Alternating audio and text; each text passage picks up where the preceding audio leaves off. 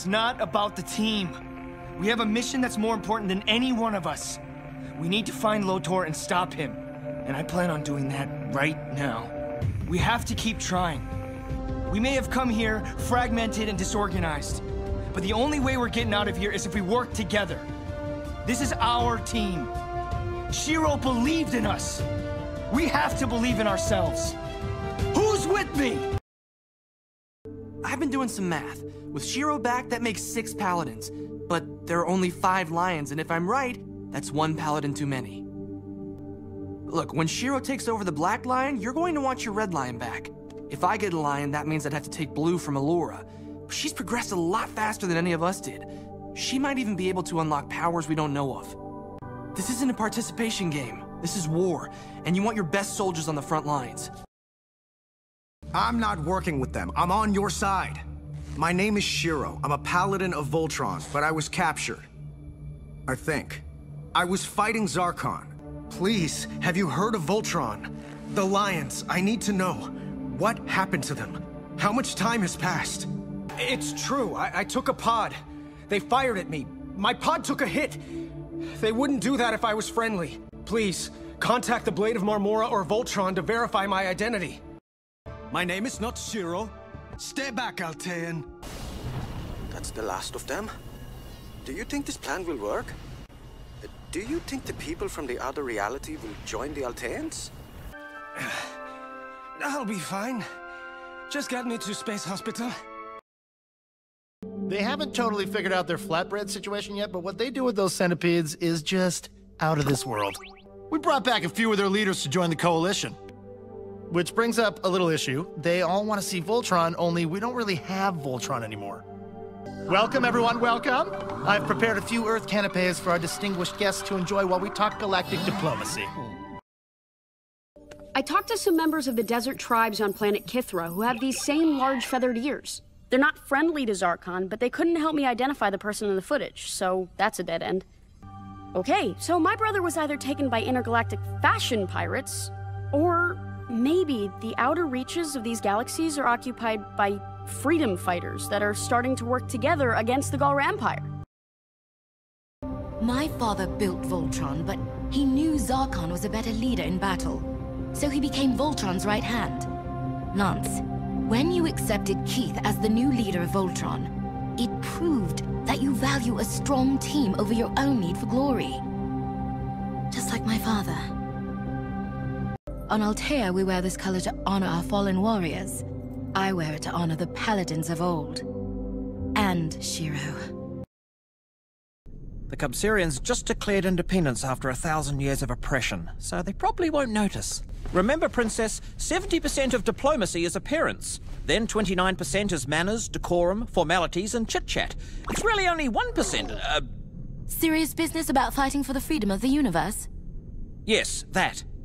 I don't think it's a question of wanting to fight back, but of believing that it's possible. It's up to you to give them that faith.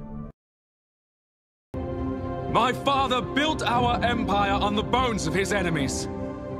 But the time has come to change the old ways and inspire not fear from those we rule, but loyalty. We must not waste our energy fighting to keep our subjects down, but rather multiply it by allowing those worthy to rise and join our ranks. The universe can no longer doubt our strength. Each ally gained only makes us stronger, while those who continue to stand against us will be crushed. As for the whereabouts of the Voltron Lions, we've had reports of yellow and blue in the Pagalian quadrant. The red one has been seen throughout these quadrants, and the green one here, here, and here. The planet is made of dense gases and has unusual magnetic poles that distort and wreak havoc on normal sensors.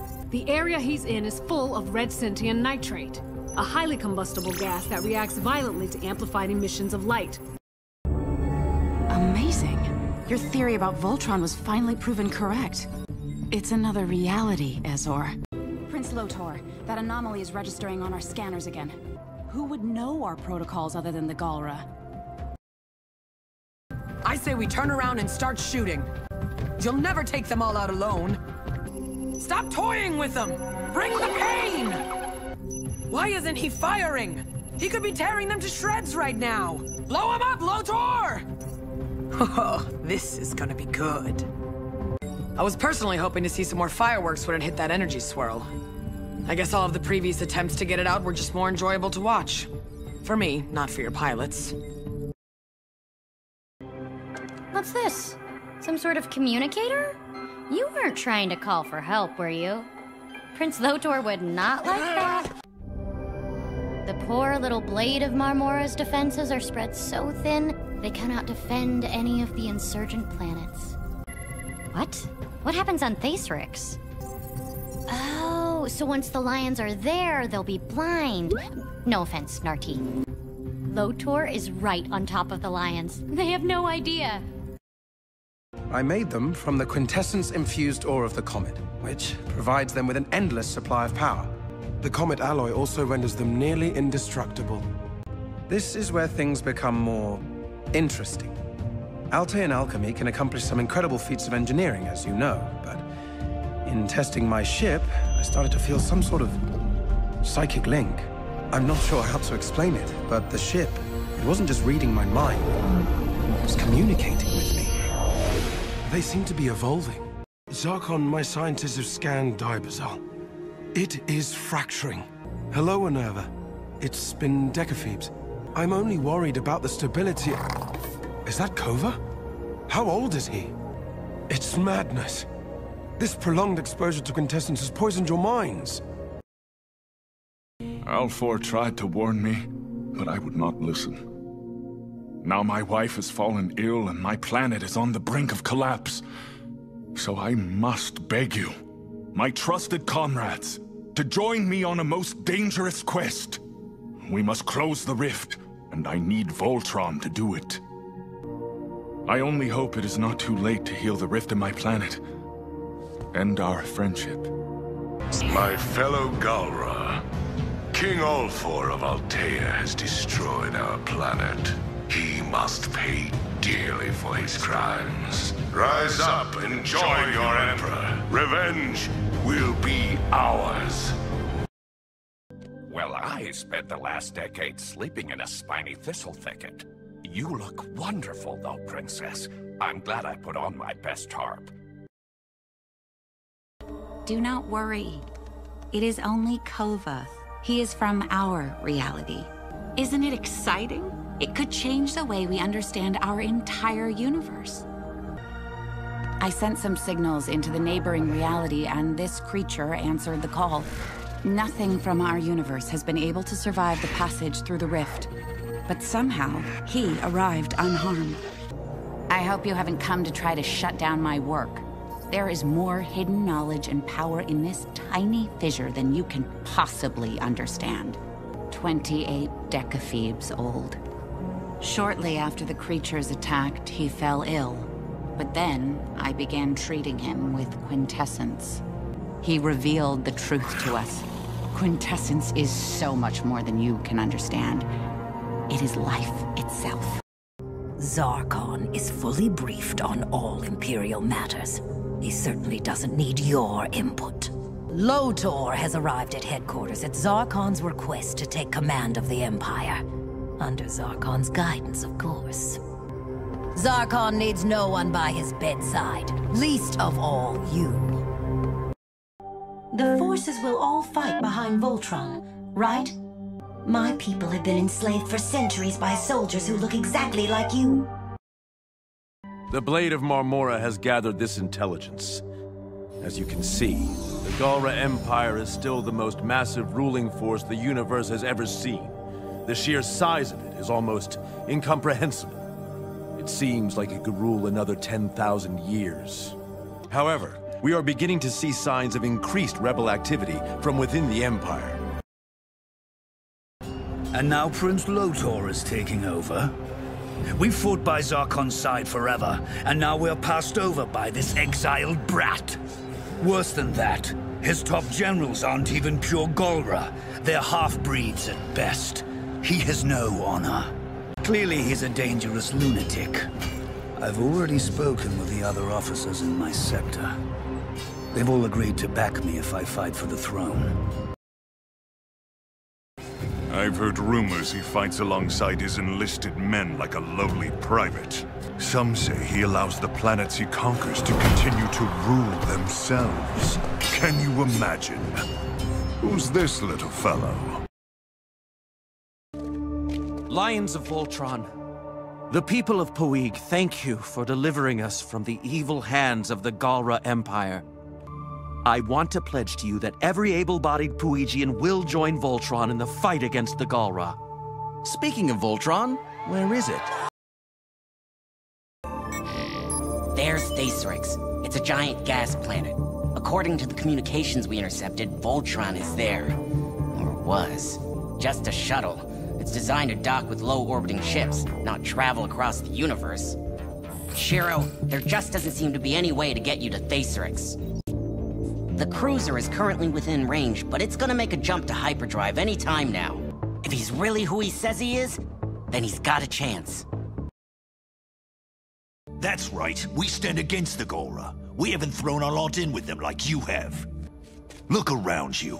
Our food and supplies are limited at this outpost. We have no problem watching you starve until you start telling the truth.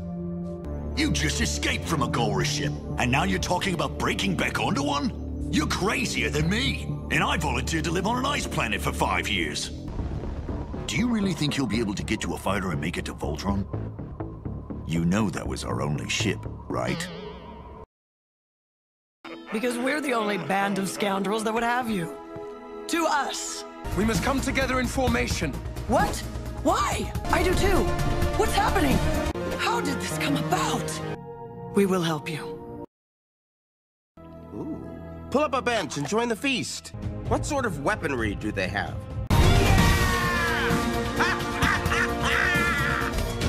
These blasted things are covering me! Th thanks, Alfor! I can't believe we did! It! Where are we? We must hurry. The creatures have returned.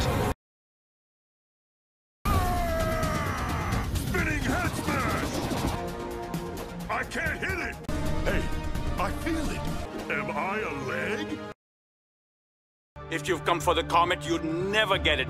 I'll die before I let it fall into Altean hands. I may be crazy, but you've never rescued me from anything before. Unless you're This from an, an alternate, alternate reality. reality. Hira, you and the rest of Altea have turned this universe into an army of slaves. Peace at the sake of freedom. Because this is the reality where everything works out fine. We located the second comet based on King Alfor's information. We managed to get it aboard, but it seems to be causing massive disturbances. We're heading back to Altea, but I don't know if we'll be able to make it that far. At this rate. That's how you were able to pass through to this reality. Your vehicle was made from the same trans-reality material. With this material, Altea can create their own trans-reality traveling ships. We can spread our peace and stability to all realities. General Hira, I have just stumbled across something in this ship's hold that will ensure Altea's rule for millennia to come. You're right. This Altea is home to a people who made sure that the Galra Scourge was unable to spread across the universe, as it did in your reality. Empress, I assure you, we will do everything in our power to help. The comet in this ship's hold possesses the ability to travel between realities. If you will activate this ancient ship's power, we can fly forward and remove the comet from the tear. We can use it to travel to your universe and bring peace there, even to the Galra.